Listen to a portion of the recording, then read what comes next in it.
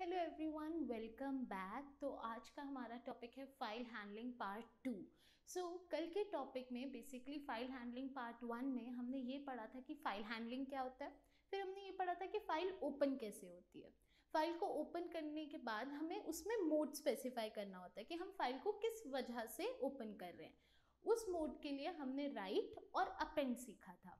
But अब हमने file को ओपन कर लिया तो उसके ऊपर एक और ऑपरेशन परफॉर्म करा जा सकता है, वो है रीड तो हम उससे ही आज की क्लास स्टार्ट करेंगे. अब सबसे पहले हम लोग ये समझते हैं रीड मेथड क्या है. आप लाइब्रेरी में गए, आपने कोई बुक ली. बुक लेने के बाद आप उसे ओपन करोगे और उसके कंटेंट को रीड करोगे राइट सिमिलरली आपने एक फ़ाइल को इंपोर्ट करा. उस फ़ाइल को इंपोर्ट करने के बाद आप उसे ओपन करोगे और ओपन करने के बाद उसके कंटेंट को सिर्फ़ रीड करोगे. तो यही हमारे रीड मेथड का यूज़ होता है। तो देखते हैं इसका क्या मतलब है। देखिए, सबसे पहले यहाँ पे लिखा हुआ है कि हम लोग read the contents of a file इसलिए हम फ़ाइल को इम्पोर्ट कर रहे हैं। Before reading a file we must make sure that the file is open अब देखिए, हमें मोड क्या लिखना है? Read write right? हम लोग राइट भी नहीं कर रहे, उस फ़ाइल में अपेंड भी नहीं कर रहे। हम सिर्फ़ उसके डेटा को रीड कर रहे हैं।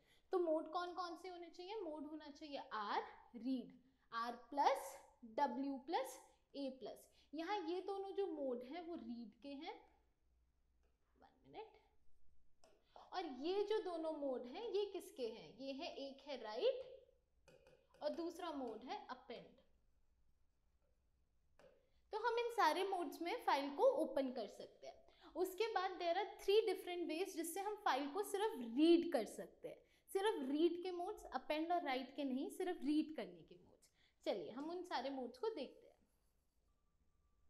देखिए, सबसे पहला होता है रीड मेथड उसके बाद होता है हमारे पास रीड लाइन मेथड उसके बाद थर्ड मेथड होता है रीड लाइंस मेथड यहाँ पे रीड मेथड में क्या होता है, इसमें ना हम नंबर ऑफ़ कैरेक्टर स्पेसिफाई कर देते हैं कि आप सिर्फ़ दस कैरेक्टर पढ़ो फ़ाइल के या पाँच कैरेक्टर पढ़ो।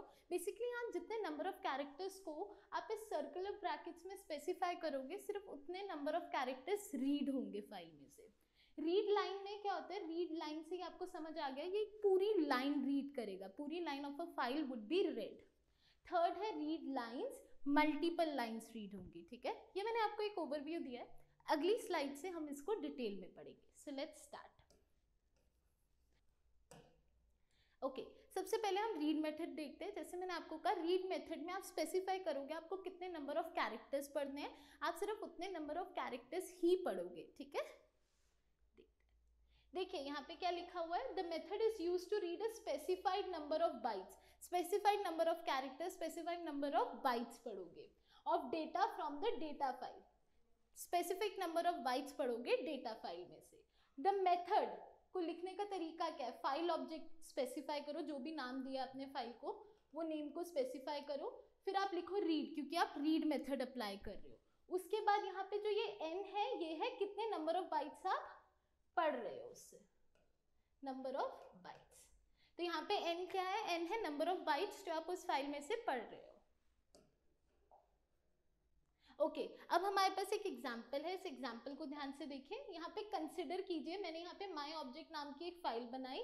उस फ़ाइल को मैंने ओपन करा। ओपन करने वाली फ़ाइल का क्या नाम है? ओपन करने वाली फ़ाइल का नाम ये है। कौन से मोड में फ़ाइल ओपन हो रही है? फ़ाइल ओपन हो रही है आर मोड में मतलब रीड मोड में। माई ऑब्जेक्ट जो मैंने अभी फ़ाइल ओपन करी है, उसमें रीड मेथड अप्लाई करो। सिर्फ़ टेन कैरेक्टर्स रीड करना। फ़ाइल में मल्टीपल लाइंस हो सकती है मल्टीपल कैरेक्टर्स हो सकते हैं बट आपको सिर्फ़ टेन कैरेक्टर्स रीड करने हैं। तो जब आप सिर्फ़ ऐसा कमांड दोगे तो आपको सिर्फ़ फ़र्स्ट टेन कैरेक्टर्स रीड होके आउटपुट मिल जाएगा। फ़र्स्ट टेन बाइट्स रीड होके आउटपुट मिल जाएगा। और उसके बाद जब आपका आउटपुट मिल गया, आप अपने फ़ाइल को बंद कर सकते हो, क्योंकि आपका काम खत्म हो गया। तो ये मेथड है रीड मेथड आई होप आप सबको ये क्लियर हो गया होगा। थोड़ी सी स्क्रीन क्लियर कर लेते हैं और आगे बढ़ते हैं। ओके okay, अब ऐसा भी तो हो सकता है ना कई बार आप कोई आर्ग्यूमेंट ही ना दो राइट कई बार आपने एन की कोई वैल्यू ही नहीं दी या फिर कई बार आपने एन की value minus five minus ten मतलब नेगेटिव दो या अगर आप एन की वैल्यू नहीं दोगे तो ऐसी सिचुएशन में क्या होता है? ऐसी सिचुएशन में मैं पूरी फ़ाइल रीड कर देंगे ठीक है? अगर आप नेगेटिव दोगे या फिर आप कोई वैल्यू ही नहीं दोगे रीड में तो पूरी फ़ाइल रीड हो जाएगी देखिए।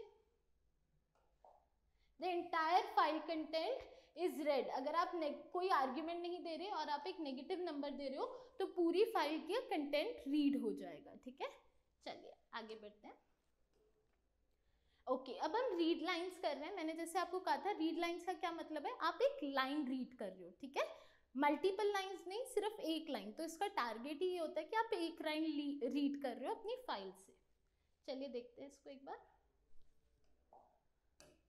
देखिए the method reads one complete line from the file where each line terminates with new line कल ही हमने पढ़ा था कि स्लैश एन का मतलब होता है new line right slash N का मतलब क्या होता है कि एक नई लाइन शुरू होने वाली है. तो ये मेथड क्या करेगा? ये पूरी फ़ाइल को रीड करेगा बट जैसे ही उसे स्लैश एन मिल जाएगा न्यू लाइन का कमांड वो वहीं पे रुक जाएगा। वो उसके नेक्स्ट लाइन को नहीं रीड करेगा। क्यों? क्योंकि इस प्रोग्राम का काम ही ये है कि वो एक लाइन रीड करेगा। तो only one line is read और स्पेसिफाइड नंबर ऑफ़ बाइट्स भी लिख सकते हो। आप ये भी लिख सकते हो कि मुझे टेन बाइट्स पढ़ के दो ट्वेंटी बाइट्स पढ़ के दो तो आप ये भी कर सकते हो, ठीक है?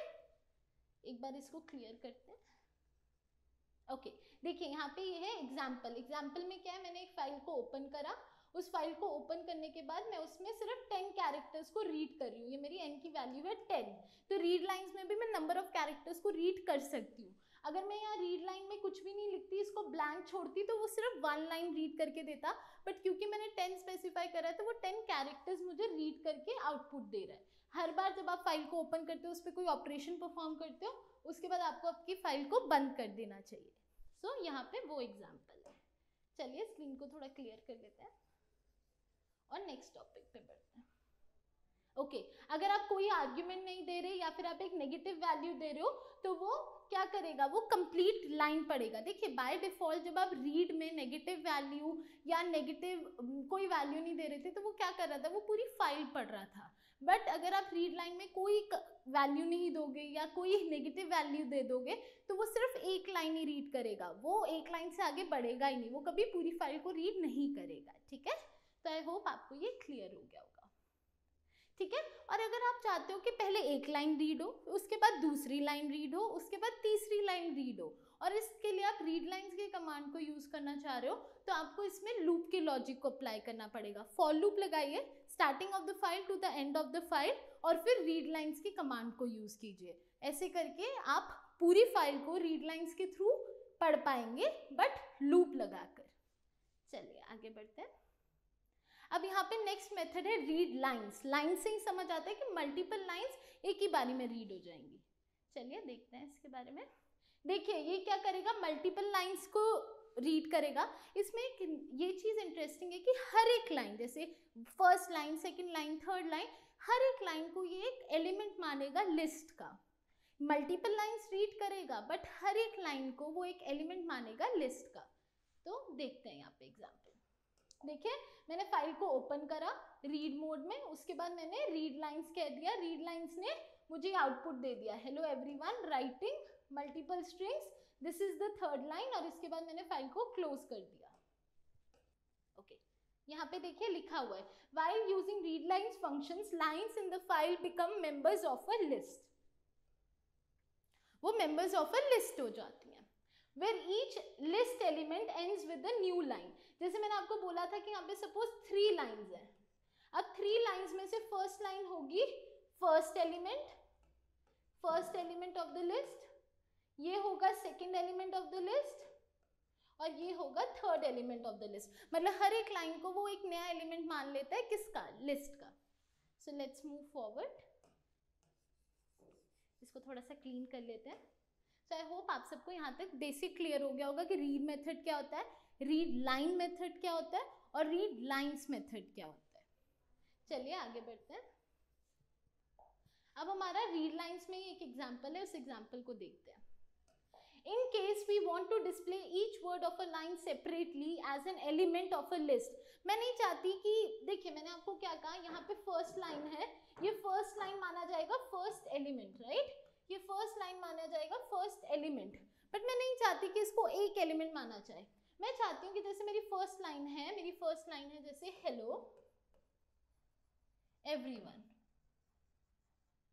बाय डिफ़ॉल्ट क्या होगा? बाय डिफ़ॉल्ट इसको पूरे को एक एलिमेंट माना जाएगा राइट बाय डिफ़ॉल्ट इस पूरे को एक एलिमेंट माना जाएगा बट मैं नहीं चाहती कि इस पूरे को एक एलिमेंट माना जाए। मैं चाहती हूँ कि चाहे वो फ़र्स्ट लाइन ही क्यों नहीं है, हर एक वर्ड हर एक सेंटेंस का वर्ड जो है वहाँ पे, उसे एक अलग एलिमेंट माना जाए। मतलब ये फ़र्स्ट एलिमेंट माना जाए और ये सेकेंड एलिमेंट माना जाए। तो बेसिकली मैं चाहती हूँ कि बाय डिफ़ॉल्ट तो रीड लाइंस हर एक एलिमेंट की लाइन को ही मानता है राइट बट मैं चाहती हूँ कि एलिमेंट के बीच में जो वर्ड्स हैं, जो अलग अलग कैरेक्टर्स हैं, उनको भी अलग एलिमेंट माना जाए। देखिए the line separately separately line को एक अलग अलग कैरेक्टर माना जाए, ठीक है? तो इसके लिए हम क्या कर सकते हैं? हम स्प्लिट फ़ंक्शन को यूज़ कर सकते हैं। रीड लाइन करो रीड लाइन में फ़र्स्ट लाइन को एक क्या माना जाएगा? एक खुद में एलिमेंट माना जाएगा। फिर उस एलिमेंट को आप स्प्लिट कर दो। जब आप उस एलिमेंट को स्प्लिट कर दोगे तो वो एक एलिमेंट मल्टीपल एलिमेंट्स माने जाएँगे, ठीक है? चलिए, इसके एग्ज़ाम्पल को देखना है। देखिए यहाँ पे। यहाँ पे पहले मैंने ओपन करी फ़ाइल पहले फिर मैंने फ़ाइल को रीड कर लिया। यहाँ तक फ़ाइल का हर एक लाइन एक नया एलिमेंट है। फिर मैंने हर एक लाइन को स्प्लिट कर दिया और हर एक लाइन को जब मैं स्प्लिट कर दूँगी, जैसे मैंने आपको हेलो और एवरीवन के साथ दिखाया था, जब मैं हर एक लाइन को स्प्लिट कर दूँगी तो वो एक अलग अलग वर्ड मतलब वो अलग अलग एलिमेंट्स बन जाएँगे। तो हम स्प्लिट मेथड को यूज़ करके एक लाइन जो एक एलिमेंट बन रहा था, उसको भी अलग अलग एलिमेंट्स में ब्रेक डाउन कर सकते हैं। तो आई होप आपको ये क्लियर हो गया होगा। चलिए आगे बढ़ते हैं। Okay okay.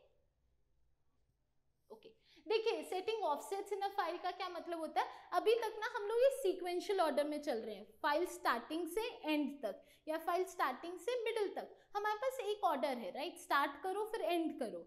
रैंडम कुछ नहीं कर रही है। थोड़ी है कि मैं फ़ाइल के बीच में सेकंड लाइन में जाके वो एलिमेंट को एडिट कराई। ऐसा मैंने अभी तक कुछ नहीं करा है। सीक्वेंशियल ऑर्डर में सारा काम हो रहा है। बट मेरे को सीक्वेंशियली काम नहीं करना। मुझे जितना काम है, मेरे को सिर्फ़ उतना काम करना है। मैं फालतू में टाइम क्यों बढ़ा रही हूँ अपनी फ़ाइल को ओपन करने का? क्यों ना मैं जाऊँ और जितना मुझे काम है, सिर्फ़ उतना काम करके अपनी फ़ाइल को क्लोज कर दूँ। क्यों ना मैं रैंडम एग्जीक्यूशन करूँ अपने काम की। देखिए, अभी तक सीक्वेंशियल काम हो रहा है बट मैं रैंडम फ़ैशन में काम करना चाह रही हूँ। मैं रैंडमली चाह रही हूँ कि जहाँ मुझे जो चेंज चाहिए, वहाँ हो जाए। इसके लिए मैं क्या यूज़ कर सकती हूँ? मैं सीक और टेल मेथड को यूज़ कर सकती हूँ। अभी हम इनके बारे में पढ़ेंगे कि सीक और टेल क्या होता है। सबसे पहले इसको क्लीन कर देते हैं थोड़ा सा सबसे पहले हमारे पास आया यहाँ पे टेल मेथड टेल मेथड में यहाँ पे क्या लिखा हुआ है? This function return an integer that specifies the current position of the file object in the file The position so specified is the byte position from the beginning of the file till the current position of the file object. अब देखिए, मैं चाहती हूँ कि आप fifth object पे जाइए और वहाँ पे कुछ करिए। देखिए the function returns an integer हमें एक इंटीजर वैल्यू देगा। That specifies the current position वो मुझे करंट पोजीशन बताएगा किसी चीज़ की of the file object in the file जैसे मैं चाहती हूँ कि आप एक वर्ड ढूंढो फ्लार मैं चाहती हूँ आप एक वर्ड ढूंढो फ्लार तो ये ऑब्जेक्ट को ढूंढेगा, ये पूरे फ़ाइल में जाएगा और ढूँढने की कोशिश करेगा कि फ्लावर वर्ड कहाँ है। तो ये पूरी फ़ाइल में इस फ्लावर वर्ड की करंट पोजीशन ढूँढने की कोशिश करेगा। जब इसे मिल गया फ्लावर चलो फिफ्थ पोजीशन पे सिक्स पोजीशन पे तो ये एक इंटीजर वैल्यू रिटर्न करके मुझे ये बताएगा कि इसकी पोजीशन कहाँ है। तब ये मुझे बताएगा इसकी पोजीशन कहाँ है, ठीक है? तो from the beginning of the file till the current position और ये क्या करेगा? ये पोजीशन ऐसे नहीं बताएगा। ये मुझे बताएगा कि आपकी पोजीशन ज़ीरो से स्टार्ट होके कहाँ पे है? जैसे फिफ्थ पोजीशन पे तो ये मेरे को वहाँ से बाइट्स गिन के बताएगा। रैंडमली नहीं बोल देगा कि बीच में। ये मेरी स्टार्टिंग से पूरी फ़ाइल गिनी जाएगी और फिर बताएगा कि कौन सी पोजीशन पे वो लाइक करता है। सिंटेक्स क्या है? फ़ाइल ऑब्जेक्ट टेल टेल में आप स्पेसिफाई करोगे आप किस चीज़ को ढूंढ रहे हो, ठीक है? सो आई होप आपको ये क्लियर हो गया होगा। चलिए आगे बढ़ते हैं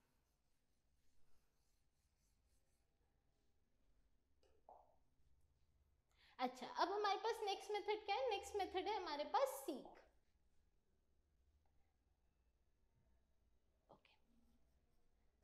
The seek method is used to position the object at a particular position in the file. देखिए टेल मेथड हमें पोजीशन बता रहा था कि वो एलिमेंट कहाँ पे है। सीक क्या करेगा? मेरे को एक एलिमेंट को एक पर्टिकुलर पोजीशन पे पुट करना है। मुझे इसको कहीं ऐड करना है। मुझे एक एलिमेंट को किसी जगह पे ऐड करना है तो वो ऐड कैसे कर सकते हैं? देखिए, पहले आप फ़ाइल ऑब्जेक्ट का नाम दीजिए सीक मेथड को कॉल कीजिए, उसके बाद आप रेफरेंस दोगे। रेफरेंस से पहले आप बताओगे आप किसे ऐड कर रहे हो। आप किसे ऐड कर रहे हो? फिर आप एक रेफरेंस दोगे। देखो, आप किसी को अपने घर बुला रहे होते हो तो हमेशा आपसे पूछा जाता है, आसपास कोई ऐसी जगह है, कोई रेफरेंस पॉइंट है, जिससे हमें आपका घर मिल जाए। जब कोई आप डिलीवरी के लिए फ़ूड ऑर्डर करते हो या कुछ ऑर्डर करते हो तो कई बार क्या होता है डिलीवरी बॉय आपको कॉल कर कर पूछता है कि क्या कोई आसपास रेफरेंस पॉइंट है, जिसकी हेल्प से मुझे आपका घर मिल जाए। तो आप जैसे कह दोगे हाँ यहाँ पे पीछे एक मॉल है या फिर वहाँ पे एक स्कूल है। वो रेफरेंस पॉइंट है। उस रेफरेंस पॉइंट की हेल्प से आप इजीली प्लेस कर पाएगा डिलीवरी बॉय कि आपका घर कहाँ है। बिल्कुल वैसे ही रेफरेंस पॉइंट यहाँ पे क्या करेगा, वो आपके ऑब्जेक्ट को पर्टिकुलरली वहीं प्लेस कर पाएगा जहाँ आप चाहते हो, क्यों? क्योंकि उसे रेफरेंस पॉइंट की हेल्प मिल रही है। In the above sentence, offset is the number of bytes by which the file object is to be moved. Number of byte जिससे हमारे फ़ाइल ऑब्जेक्ट को मुझे मूव करना है रेफरेंस पॉइंट मुझे हेल्प करेगा बताने की कि कहाँ पे मूव करना है। अब रेफरेंस पॉइंट की क्या क्या वैल्यूज़ हो सकती हैं, वो देखिए आप। देखिए रेफरेंस पॉइंट की वैल्यू क्या क्या हो सकती है? बिगिनिंग ऑफ़ द फ़ाइल के लिए आप ज़ीरो दोगे मतलब बिगिनिंग ऑफ़ द फ़ाइल से लो रेफरेंस बीच में से फ़ाइल के बीच में से या जो करंट पोजीशन था ऑब्जेक्ट का, उसके लिए आप वन दोगे और अगर आप फ़ाइल के एंड से रेफरेंस देना चाहते हो तो आप वैल्यू दोगे टू ठीक है? आई होप आपको ये क्लियर हो गया होगा। चलिए आगे बढ़ते हैं। ठीक है। अब हम लोग क्या करेंगे? हम लोग फ़ाइल को क्रिएट कैसे करते हैं? वो एक बार क्विकली रिवाइज करेंगे और क्रिएट करने के बाद हम ये समझेंगे कि ट्रैवर्स कैसे करते हैं, ठीक है? तो स्टार्टिंग हम करेंगे क्रिएट मतलब नई फ़ाइल कैसे बनती है, ठीक है? चलिए। चलिए, देखिए क्रिएटिंग अब हम वेरियस मेथड समझ चुके हैं, जिससे हम फ़ाइल को ओपन कर सकते हैं फ़ाइल को क्लोज कर सकते हैं फ़ाइल में राइट कर सकते हैं फ़ाइल को एडिट कर सकते हैं। बट अभी तक हमने ये नहीं सीखा कि एक नई फ़ाइल कैसे बनती है राइट तो अब हम वही सीखने जा रहे हैं कि एक नई फ़ाइल कैसे बनती है। तो हमें नई फ़ाइल बनाने के लिए एक तो फ़ाइल ऑब्जेक्ट पता होना चाहिए और कहाँ पे वो फ़ाइल बनानी है, उसकी डिजायर्ड लोकेशन होनी चाहिए राइट एक गोल तो होगा ना, मेरी फ़ाइल यहाँ स्टोर होगी या यहाँ स्टोर होगी तो डिजायर्ड लोकेशन सबसे पहले हम ये सीखते हैं कि एक फ़ाइल को बनाते कैसे, उसमें डेटा ऐड कैसे करते हैं। तो देखिए, एक फ़ाइल को बनाने के लिए हमें सबसे पहले तो एक ब्लैंक फ़ाइल को ओपन करना पड़ेगा, ठीक है? आप एक ब्लैंक फ़ाइल को डायरेक्टली ओपन करके फ़ाइल उसमें क्रिएट कर सकते हो। बट कई बार आप एक पुरानी जो पहले से फ़ाइल बनी हुई है, आप उसको ओपन करके उसमें चेंजेस करना चाहते हो राइट ये हमने कल भी पढ़ा था मतलब फ़ाइल हैंडलिंग पार्ट वन में, जिसमें हमने ये पढ़ा था कि अगर मैं एक फ़ाइल को ओपन करती हूँ और उसमें मैं राइट करती हूँ। तो वो राइट का क्या मतलब होता है? राइट का ये मतलब होता है कि फ़ाइल में जो भी पहले लिखा हुआ था, वो सब क्लीन हो जाएगा और जो आप नया लिखोगे, वो ऐड होगा स्टार्टिंग से। और अपेंड का क्या मतलब होता है? अपेंड का ये मतलब होता है फ़ाइल जो है, उसके एंड में आप नई चीज़ें ऐड कर सकते हो। तो यहाँ पे हमारे पास दो मेथड आएँगे फ़ाइल को ओपन करने के। एक तो है कि आपके पास ब्लैंक फ़ाइल है, खाली फ़ाइल थी, आप उसमें स्टार्टिंग से कुछ भी लिख रहे हो। बट अगर आप एक फ़ाइल ऐसी ओपन कर रहे हो जो क्रिएटेड थी, जो पहले से ही बनी हुई थी, जिसमें पहले से ही डेटा स्टोर था, तब क्या होगा? तब ये होगा कि हम उस पर या तो राइट मोड कर सकते हैं, या तो उसमें अपेंड मोड कर सकते हैं। राइट मोड क्या करता है? राइट मोड जो आपकी फ़ाइल है, जैसे आपकी ये फ़ाइल थी, इसमें ये कुछ लिखा हुआ था, वो इस सारे डेटा को मिटा देगा, वो इस सारे डेटा को रिमूव कर देगा और रिमूव करने के बाद आप न्यू डेटा स्टार्टिंग से ऐड कर सकते हो, ठीक है? मतलब एकदम स्टार्टिंग से आप नया डेटा लिख सकते हो। बट अपेंड क्या करता है? अपेंड ये करता है, आपके पास फ़ाइल थी, यहाँ पे कुछ डेटा लिखा हुआ था। अपेंड ये करेगा कि वो इस डेटा को नहीं चेंज करेगा, वो एंड ऑफ़ द फ़ाइल से नया डेटा ऐड करेगा, ठीक है? तो न्यू फ़ाइल बन गई तो अच्छी बात है। अगर आप पुरानी फ़ाइल ओपन कर रहे हो तो उसमें क्या होगा? राइट मेथड कर सकते हो, जिसमें फ़ाइल स्टार्टिंग से आप दोबारा लिख सकते हो। अपेंड पुरानी फ़ाइल का डेटा भी रहेगा, आप नई फ़ाइल का डेटा नीचे ऐड कर सकते हो, ठीक है? तो ये हमारे मेथड्स थे एक फ़ाइल को क्रिएट करने के चलिए आगे बढ़ते हैं। ओके okay, अब हमने फ़ाइल को क्रिएट करना सीख लिया तो हमारा दूसरा टारगेट था फ़ाइल को ट्रैवर्स करना। फ़ाइल को ट्रैवर्स करने के लिए सबसे पहले to read and display the data that is stored in the text file we will refer to the previous example अब आप सोचिए आपके पास फ़ाइल एक बनी हुई है। ट्रैवर्स करना क्या होता है? उस फ़ाइल के कंटेंट को एक बार स्टार्टिंग से लेकर एंड तक रीड करना। बेसिकली ट्रैवर्स का तो यही मतलब होता है ना फ़ाइल को स्टार्टिंग से लेकर एंड तक एक बार रीड करना। ठीक है? तो the file is open file को हम खोलेंगे, उसके कंटेंट को हम रीड करेंगे, यही होता है ट्रैवर्स का मतलब। आपने एक फ़ाइल को ओपन करा और उसे रीड करा। लेट्स मूव फॉरवर्ड और इस कॉन्सेप्ट को अब हम एक एग्ज़ाम्पल को यूज़ करके समझते हैं। देखिए, सबसे पहले मैंने फ़ाइल ऑब्जेक्ट नाम का एक रेफरेंशियल नाम दिया। उसके आगे मैंने ओपन कमांड लिखा। ओपन के आगे मैं ये मेंशन करूँगी, मैं किस फ़ाइल को ओपन करना चाह रही हूँ? मैं प्रैक डॉट टी नाम की एक फ़ाइल को ओपन करना चाह रही हूँ। क्यों? किस वजह से? मैं उस फ़ाइल को सिर्फ़ रीड करने के लिए ओपन करना चाह रही हूँ, इसलिए मैंने यहाँ आर लिखा है। आर का मतलब होता है रीड अब रीड करने के बाद मैंने यहाँ नेक्स्ट लाइन में ये मेंशन कर दिया कि मैं रीड लाइन करना चाह रही हूँ। रीड लाइन का ये मतलब है, एक टाइम पे एक लाइन पढ़िए, फिर दूसरी लाइन पढ़िए, फिर तीसरी लाइन पढ़िए। सो लाइन बाय लाइन आप फ़ाइल को रीड कीजिए। बट मैं ऐसा नहीं चाहती। मैं चाहती हूँ कि एक लाइन पढ़ी प्रिंट हो गई। दूसरी लाइन पढ़ी, वो प्रिंट हो गई। तो ये करने के लिए मैं वाइल लूप को यूज़ करूँगी। देखिए, मैंने वाइल लूप लगाई और वाइल लूप में सबसे पहले मैंने प्रिंट बोल दिया। मतलब आपने जो एक लाइन रीड करी है, आप उसे प्रिंट कर दो। उसके बाद आप फिर से नेक्स्ट लाइन को रीड करो। तो ये क्या करेगा? एक लाइन रीड करी प्रिंट करी। दूसरी लाइन रीड करी प्रिंट करा। तो ये ऐसे करके पूरी फ़ाइल को ट्रैवर्स करेगा और पूरी फ़ाइल में जितनी लाइन्स हैं उन्हें प्रिंट करेगा। इसलिए हमने वाइल लूप का यूज़ करा है। अब जब मेरी पूरी फ़ाइल रीड हो जाएगी तो मेरे को कोई और काम बचा नहीं है फ़ाइल के साथ तो मैं फ़ाइल को क्लोज कर दूँगी।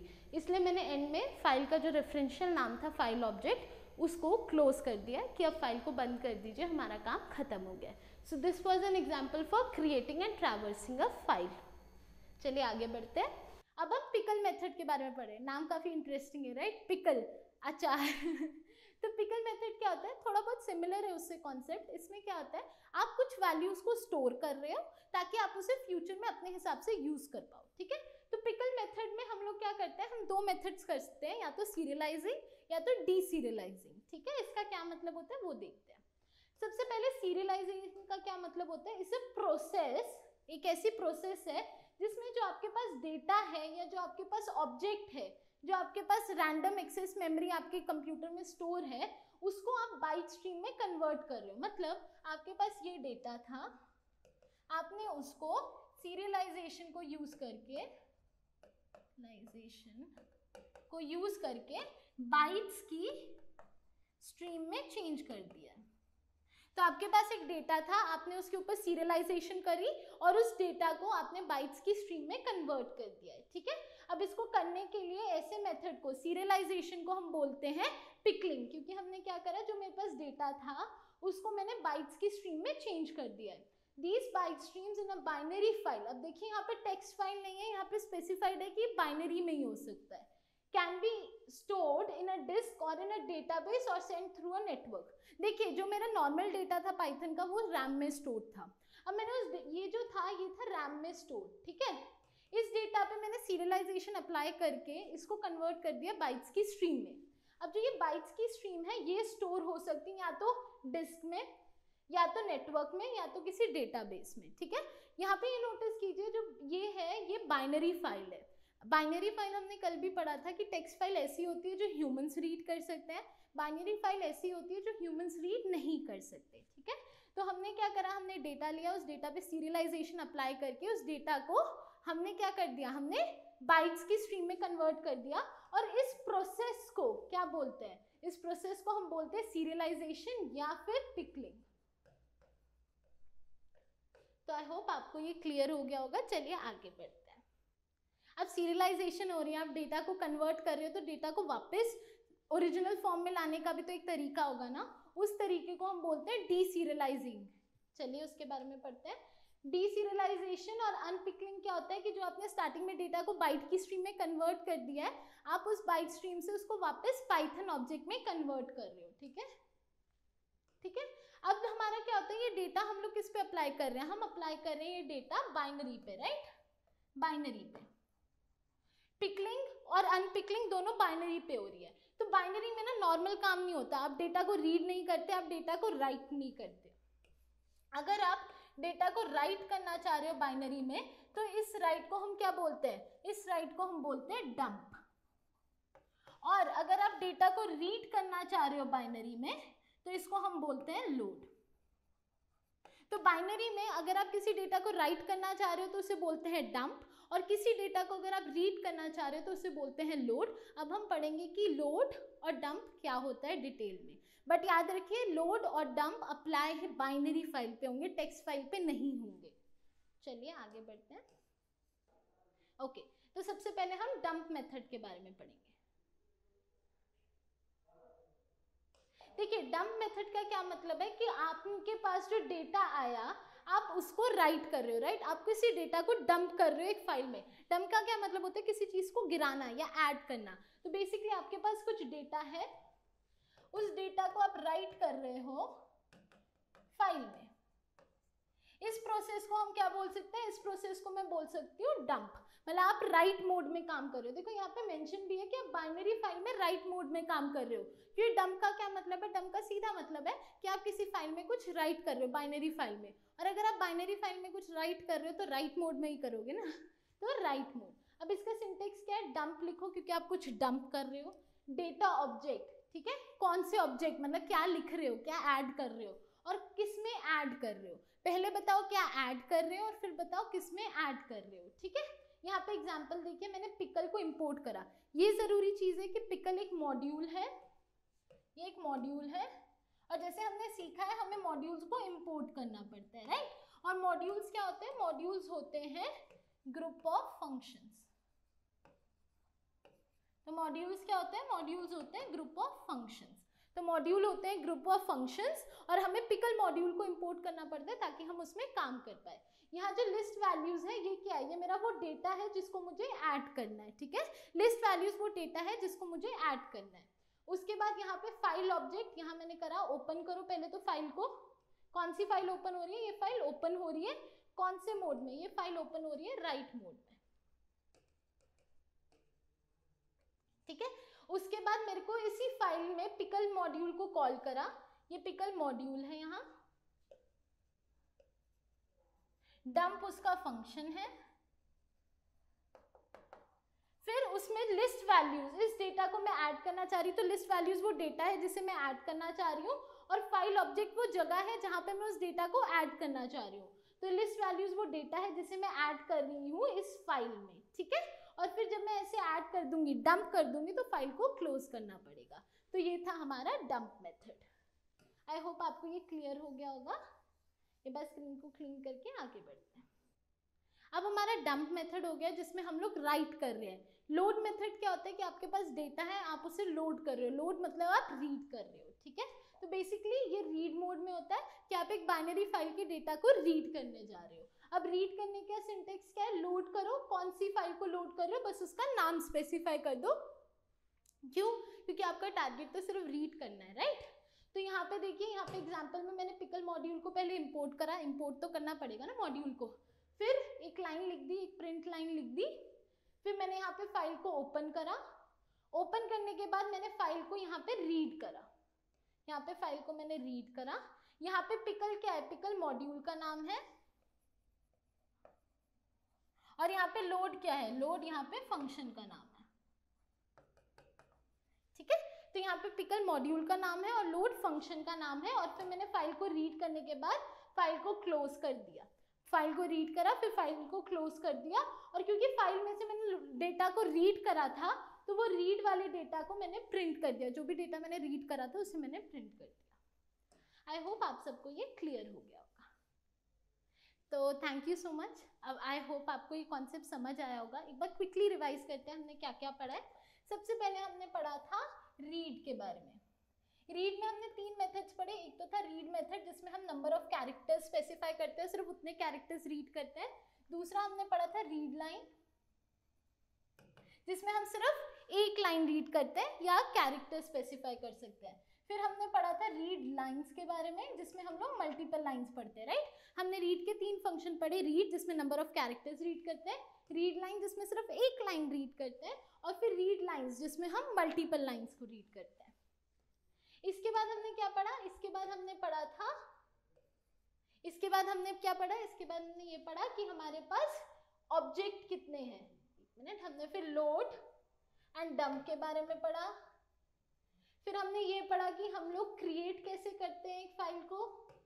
फिर हमने ये पढ़ा कि हम ट्रैवर्स कैसे करते हैं? तो हमने ये सारी चीज़ें पढ़ी। इसके अलावा हमने रैंडम एक्सेस के लिए सीक और टेल भी पढ़ा। सीक एंड टेल फ़र्स्ट तो हमने यहाँ पे रीड पढ़ा था। तो बेसिकली हमने क्या क्या पढ़ा? पहले हमने रीड मेथड पढ़ा, फिर हमने लोड एंड डंप पढ़ा, जो होता है बेसिकली बाइनरी के लिए। उसके बाद हमने क्या पढ़ा? उसके बाद हमने पढ़ा कि क्रिएट कैसे करते हैं एक फ़ाइल को? फिर हमने करा कि एक फ़ाइल को ट्रैवर्स कैसे करते हैं राइट हम एक फ़ाइल को ट्रैवर्स कैसे करते हैं? हमने सीक और टेल के बारे में पढ़ा था, जो उसमें हम रैंडम एक्सेस कर सकते हैं डेटा को। तो हमने ये सब पढ़ के हमने फाइनली रैपअप कर लिया है फ़ाइल हैंडलिंग के टॉपिक को। And thank you so much everyone for joining me today I hope आपको आज के सेशन में मज़ा आया होगा। जब हम नेक्स्ट टाइम मिलेंगे, हम कुछ और नया इंटरेस्टिंग करेंगे। So guys if you enjoy today's session make sure आप लाइक बटन पे क्लिक कीजिए, साथ ही साथ हमारे चैनल को सब्सक्राइब कीजिए। And thank you so much everyone for joining me today thank you